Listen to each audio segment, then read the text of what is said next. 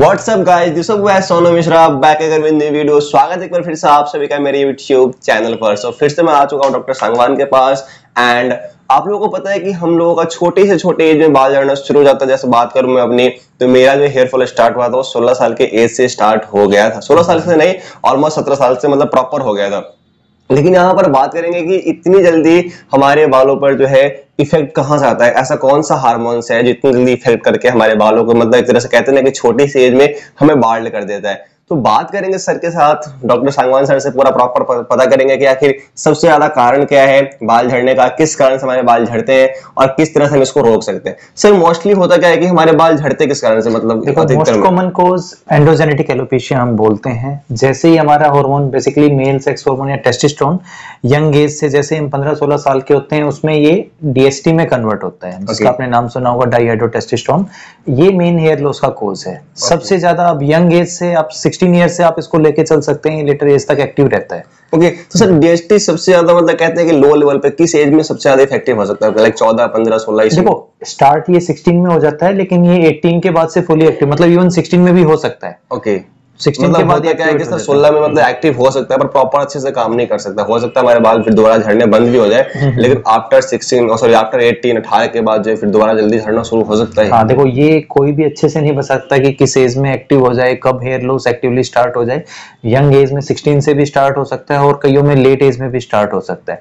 वो उसकी अपने जेनेटिक मेकअप पे डिपेंड करता है उसके हार्मोन पे उसके रिसेप्टर पे डिपेंड करता है। ओके सर डिहाइड्रोटेस्टोरेंट जो हमारा डीएचटी है वो हम्म। काम कैसे करता है सर देखो डाइहाइड्रोटेस्टिस्टोन हार्मोन एक हार्मोन है, इसको काम करने के लिए रिसेप्टर चाहिए। तो जहाँ जहाँ इसके रिसेप्टर होंगे, वहाँ वहाँ ये एक्टिव होगा। तो हम देखें तो हेयर के बारे में बताऊँ तो हमारे फ्रंट में फ्रंट से लेके यहाँ वर्टेक्स एरिया तक ये सारे हेयर में इसके रिसेप्टर काफ़ी ज़्यादा होते हैं। तो इसलिए इसके इफ़ेक्ट की वजह से यहीं पे ज़्यादा हेयर लॉस होता है। जबकि बाकी वाले एरिया में इतने ज़्यादा इसका नहीं होता है तो वो इसलिए हेयर बाद तक स्टे करते हैं इवन बढ़ते भी हैं। आप देखेंगे बियर टाइम के हिसाब से गहरी होती चली जाती है डार्क हो जाती है लेकिन ये वाला हेयर लॉस होने लगता है। तो इसी हार्मोन की वजह से यहाँ बाल ग्रो करते हैं और यहाँ हेयर लॉस होता है। ओके okay, सर तुम्हारा डोनर एरिया है जो या फिर क्राउन एरिया है हम्म, हम्म। या फिर साइड साइड के बाल यहाँ पे डेस्टिवल हम्म। ज़्यादा हावी नहीं होता? हाँ नहीं क्राउन एरिया में होता है लेकिन साइड के बाल और ये पीछे डोनर एरिया या ओसिपिटल एरिया इस एरिया में डीएसटी का इफ़ेक्ट नहीं होता ओके okay, तो सो इसी कारण जो हम जब भी हेयर ट्रांसप्लांट कोई करवाता है तो जो उसका बाल और डेनो ये ज़्यादा लेते हैं बिल्कुल बिल्कुल इसलिए हम इस वाले एरिया के बाल या बियर्ड के या चेस्ट के बाल ही हम यूज़ कर सकते हैं इस एरिया के बाल यूज़ करेंगे तो कुछ दिन में वो दोबारा चले जाएँगे okay. तो, तो सर यहाँ पर बात उठता है कि जब डीएसटी हम्म। लेवल इतना हमारा खतरनाक हो जाए या फिर हम्म। हमारे बालों को मतलब हमारे सौंदर्य को हमारे हम्म, खूबसूरती को खत्म कर दे तो इस डीएसटी को हम कैसे खत्म कर सकते हैं मतलब कोई मेडिसिन या फिर डीएसटी एक इंपॉर्टेंट हार्मोन है टेस्टोस्टेरोन और डीएसटी पूरी तरह तो हम भी इसे नहीं खत्म करना चाहते नहीं तो हमारे बहुत से मेल फीचर्स हैं वो इसी की वजह से आते हैं। तो हमें जब ज़्यादा हेयर लॉस होता है जब इसे ब्लॉक करने की नीड होती है तो कुछ ड्रग्स हैं जिनकी हेल्प से हम इसे ब्लॉक कर सकते हैं जिसमें फिनास्ट्राइड एंड ड्यूटास्ट्राइड है। फिनास्ट्राइड जो बहुत पहले से हम बहुत यूज़ भी कर रहे हैं इसको ओरल फॉर्म में भी यूज़ कर सकते हैं और आजकल ये मिनोक्सटिल के साथ टॉपिकल फॉर्म में भी आने लग गया है। तो इसके उसमें इससे साइड इफ़ेक्ट नहीं होते। तो ये बड़ा स्पेसिफिक और दूसरा ड्यूटेस्ट्राइड ये और भी ज़्यादा स्पेसिफिक है इसके साइड इफ़ेक्ट भी लेस हैं लेकिन अभी पूरी तरह यूएस एफटी अप्रूव नहीं हुआ इसलिए हम बहुत ज़्यादा इसे यूज़ नहीं करते ओके सर फिर यहाँ पर है ना कि हम फिनास्ट्राइड लेते हैं तो आपको ही पता होगा फिनास्ट्राइड का जो है सेक्सुअल साइड इफ़ेक्ट है। हम्म, हम्म, हम्म। तो यहाँ पर बात उठती है कि जो हम भी हम फिनास्ट्राइड लेते हैं तो कितने एमजी मिले? देखो इनिशियल हम वन एम से स्टार्ट करते हैं किसी किसी में डोज ज़्यादातर मोस्ट कॉमन इसके लिए वन एम ही डोज है। साइड इफ़ेक्ट देखो हर चीज़ के हैं लेकिन रेयर होते हैं। वो किसी में होंगे तो रिवर्सिबल है हम बंद कर देंगे तो वापस वो नॉर्मल हो जाएँगे।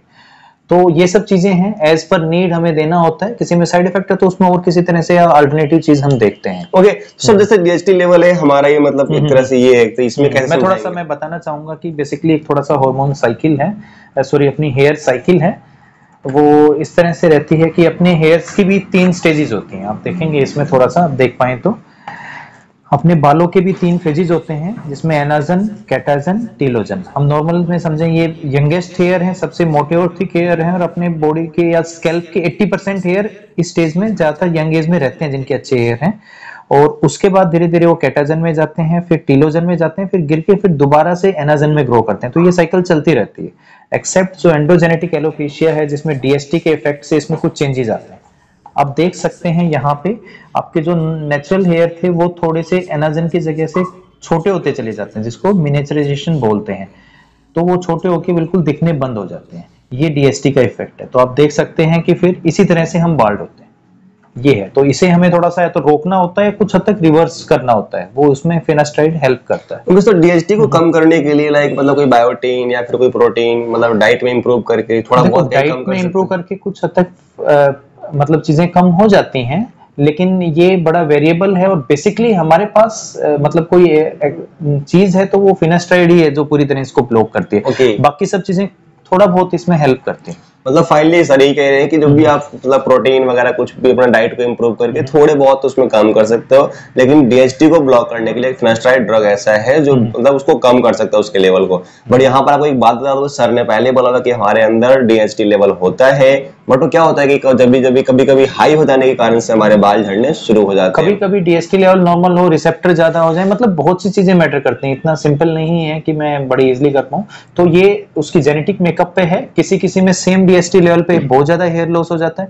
किसी में डीएसटी लेवल हाई है तो भी हेयर लॉस उतना नहीं हो ऐसा भी हो सकता है। ओके okay, मतलब मतलब यही कह सकते हैं पर्टिकुलर एक डीएसटी लेवल ऐसा है जो हम्म। मतलब हाई हो जाने के बाद या फिर नॉर्मल लेवल के हम्म। मतलब उससे ही कारण बाल झड़ते हाँ, हैं मतलब hair loss DHT normal level में भी हेयर लॉस हो सकता है। हो। सकता है। तो हमें ज़रूरी नहीं है कि इसी पूरी तरह ब्लॉक करना है तो रीजन होता है तो हम इसे ब्लॉक करते हैं नहीं होता तो हमें कोई नीड भी नहीं है। ओके okay, फिर मिलते हैं आपसे अगली वीडियो में। वीडियो आपको अच्छी लगी हो तो वीडियो को लाइक ज़रूर कर देना और जो अगली वीडियो आएगी सर के साथ ही आएगी।